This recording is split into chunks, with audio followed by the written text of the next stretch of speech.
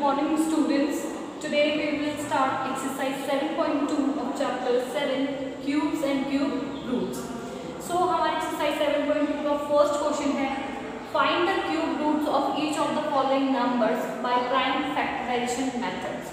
Question first में क्या करना है हमें क्यूब रूट फाइंड करने हैं जो नंबर हमें गिवन है उनके कौन से मेथड से प्राइम फैक्टराइजेशन मेथड ये हम ऐसा कैसा क्वेश्चन हम एक्सरसाइज 7.1 में भी करके आ चुके हैं ठीक है फ़र्स्ट हमें नंबर गिवन है 64 तो सबसे पहले हम इसके क्या करेंगे? फैक्टर्स निकालेंगे। फैक्टर्स निकालेंगे कौन से मेथड से बाय प्राइम फैक्टराइजेशन मेथड से। तो 64 के हम फैक्टर्स निकालेंगे। कौन कौन से आएँगे फैक्टर टू से जा सकता है? कितने टाइम्स 32 टाइम्स वापस टू से जा सकता है। कितने टाइम्स 16 टाइम्स फिर टू से 8 टाइम्स फिर टू से कितने टाइम्स 4 टाइम्स फिर टू से 2 टू जा 4 एंड 2 वन जा 2 तो यहाँ पर हमारे पास 64 के फैक्टर्स क्या आ गए 2 multiply 2 multiply 2 multiply 2 multiply 2 multiply 2 तो 2 मल्टीप्लाई 2 मल्टीप्लाई 2 ठीक है तो इसके हम ट्रिपलेट्स फॉर्म करेंगे ग्रुपिंग करेंगे फैक्टर्स के और ट्रिपलेट्स फॉर्म करेंगे इक्वल फैक्टर्स के तो एक ट्रिपलेट तो बन गई ये, और दूसरी ट्रिपलेट बन गई ये। तो हर एक ट्रिपलेट में से एक फैक्टर बाहर आ जाएगा तो यहाँ से आया टू बाहर और यहाँ से आया टू बाहर तो टू मल्टीप्लाई टू टू और टू मल्टीप्लाई करने में कितना आ गया? फोर आ गया। तो हमारे पास cube root of sixty four कितना आएगा हमारे पास क्यूब रूट आएगा सिक्सटी फोर का फोर उसके बाद सेकंड हमें नंबर जो गिवन है वो है फाइव हंड्रेड एंड ट्वेल्व हम फाइंड करेंगे इसका क्यूब रूट कौन से मेथड से again the same method prime factorization method से। फैक्टर्स निकालेंगे फाइव हंड्रेड एंड ट्वेल्व के। तो देखो टू से जा सकता है टू से गया सबसे पहले two fifty six times again two से जा सकता है one twenty eight times two से गया सिक्सटी फोर टू से गया थर्टी टू टू से टू सिक्सटीन जा होता थर्टी टू टू एट जा सिक्सटीन टू फोर जा एट टू टू जा फोर टू वन जा टू तो फाइव हंड्रेड एंड ट्वेल्व के फैक्टर्स हमारे पास क्या आ चुके हैं? Two multiply two multiply two multiply two multiply two two into two into two into two तो ये हमारे पास फैक्टर्स हमने लिख दिए।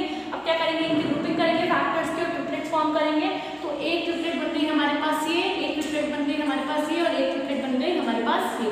तो ऐसे करके हमारे पास थ्री ट्रिपलेट्स बनी। कितनी ट्रिपलेट्स बनी है? थ्री ट्रिपलेट्स बनी है। तो हर एक ट्रिपलेट में से एक फैक्टर बाहर आ जाएगा।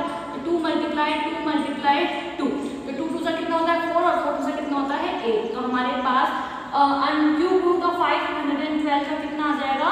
एट आ जाएगा। कितना आ गया इसका? एट ठीक है?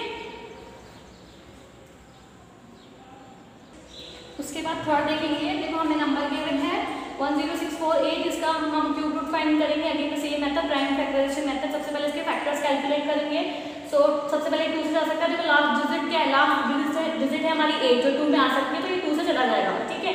सो टू से करेंगे इसको तो कितने टाइम्स गया? Five three two four times again two से जा सकता है टू सिक्स सिक्स टू वापस टू से जा सकता है वन थ्री थ्री वन अब जो है लास्ट डिजिट जो है वो वन आ चुकी है, अभी टू से नहीं जा सकता। अब इसको हम इलेवन से करेंगे तो ये जाएगा one twenty one times eleven से करेंगे तो इलेवन इलेवन से होता है वन ट्वेंटी वन और इलेवन वन जा इलेवन तो हमारे पास फैक्टर्स क्या आ गया two multiply two multiply two eleven multiply eleven multiply divide eleven अब हम क्या करेंगे? ग्रुपिंग करेंगे फैक्टर्स की और ट्रिपलेट फॉर्म करेंगे। तो पहली ट्रिपलेट हमारी यही बन गई। दूसरी ट्रिपलेट हमारी क्या बन गई? ये वाली बन गई। तो यहाँ से एक एक फैक्टर बाहर आ जाएगा, यहाँ से आ गया टू यहाँ से आ गया इलेवन दोनों को आपस में मल्टीप्लाई कर दो तो कितना आ जाएगा eleven into two into eleven करेंगे तो कितना आ जाएगा ट्वेंटी टू तो that means cube root of किसका? वन ज़ीरो सिक्स एट का कितना one six zero one zero six four eight का कितना हो जाएगा? ट्वेंटी टू नाउ क्वेश्चन का हम एट पार्ट देखते हैं क्वेश्चन फ़र्स्ट का। हमें नंबर गिवन है four six six five six तो इसका हमको क्यूब रूट फाइंड करना है। सबसे पहले फैक्टर्स निकालेंगे तो फैक्टर्स निकालने पर हमारे पास ये फैक्टर्स आएँगे। ठीक है, सबको प्राइम फैक्टर्स निकालने आते हैं। अगर किसी को भी नहीं आते हैं और किसी को प्रॉब्लम आती है तो आप मुझसे पूछ सकते हैं कि कैसे हम प्राइम फैक्टर्स निकालते हैं इस तरह से आपको प्राइम फैक्टर्स निकालने हैं। तो उसके प्राइम फैक्टर्स आ जाएँगे two into two into two two into two into two three multiply three multiply three three multiply three multiply three अब फैक्टर्स आने के बाद हम क्या करते हैं?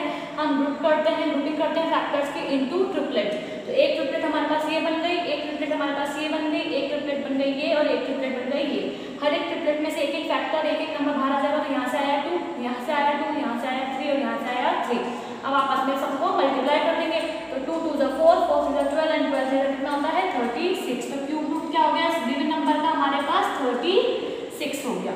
ठीक है तो इस तरह से हम क्यूब रूट फाइंड कर सकते हैं किसी भी नंबर का बाय प्राइम फैक्टराइजेशन मेथड तो इसके जो रिमेनिंग पार्ट्स है, आप खुद से ट्राई करेंगे। Now let's come to the question number second state true और फॉल्स क्वेश्चन सेकंड में हमें कुछ स्टेटमेंट गिवन है एंड हमें बताना है कि कौन सा स्टेटमेंट ट्रू है और कौन सा स्टेटमेंट फॉल्स है। फ़र्स्ट हमें गिवन है cube of any odd number is even अगर हम किसी भी ऑड नंबर का क्यूब फाइंड करते हैं तो वो इवन आएगा फॉल्स क्या आएगा इसका आंसर फॉल्स आएगा। Second a perfect cube does not end with two zero कि एक परफेक्ट क्यूब जो होगा वो कभी भी एंड नहीं होगा टू जीरोस पर तो ये हमारा बिल्कुल करेक्ट स्टेटमेंट है तो यहाँ पर क्या आएगा ट्रू थर्ड हमें गिवन है if a cube of a number end with five ठीक है, अगर किसी क्यूब का जो नंबर है, किसी नंबर का क्यूब वो एंड हो रहा है फाइव पर तो उसका क्यूब भी ट्वेंटी फाइव पर एंड होगा। तो ये स्टेटमेंट फॉल्स ऐसा कोई कंपलसरी नहीं है कि उसका जो क्यूब होगा, वो एंड होगा ट्वेंटी फाइव पर ही।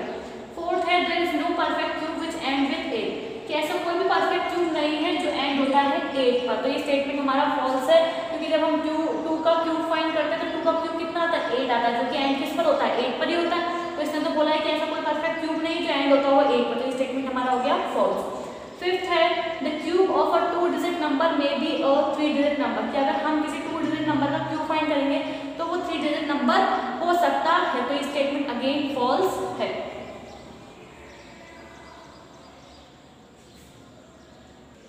Now, sixth statement हमें given है.